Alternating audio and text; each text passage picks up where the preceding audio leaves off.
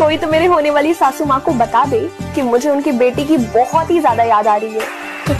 आज की इस वीडियो में आपको बताने वाले हैं कि टिकटॉक स्टार प्रियंका चौहान दोस्तों लड़कों के साथ में रील्स वीडियो क्यों नहीं बनाती हैं? वो सिर्फ़ अपनी बहन के साथ में ही रील्स वीडियो क्यों बनाती हैं?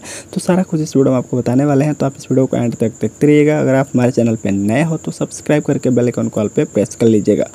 अगर पैसा तेरे लिए सब कुछ है तो अपना रेट बताना। ਸੁਬੇ ਤੁਜੇ ਹੀ ਖਰੀਦ ਲੈਂਗੇ ਡਾਰਲਿੰਗ ਉਹ ਮੈਨੂੰ ਕਹਿ ਗਈ दोस्तों, हम आपको बता दें कि टिकटॉक स्टार पूजा प्रियंका दोस्तों आज काफ़ी ज़्यादा पॉपुलर हो चुकी हैं और इनके हर एक सोशल मीडिया पे दोस्तों मिलियन में फॉलोअर हैं। इनके दोस्तों इंस्टाग्राम की बात की जाए तो इनके इंस्टाग्राम पर भी दोस्तों सात मिलियन प्लस फॉलोअर हैं और ये अच्छी खासी कमाई भी कर रही हैं। वहीं दोस्तों हम आपको बता दें कि इनकी आपने रील्स वीडियो जो भी देखा होगा, ये सिर्फ़ दोस्तों अपनी बहनों के साथ में बनाती हैं, जो कि इनकी छोटी बहन है पूजा। इन्हीं के साथ में ये वीडियो बनाती हैं, किसी दूसरे लड़की या लड़के के साथ में वीडियो नहीं बनाती हैं, क्योंकि दोस्तों ये खुद को अपनी बहन के साथ में कंफर्टेबल महसूस करते हैं और ये दूसरे के साथ में कंफर्टेबल महसूस नहीं करती हैं। इसीलिए दोस्तों, ये दूसरे के साथ में रील्स वीडियो नहीं बनाते हैं और लोग दोस्तों इनकी सिंगल वीडियो ही पसंद करते हैं। इसलिए दोस्तों, प्रियंका चौहान सिंगल में ही वीडियो बनाना पसंद करते हैं।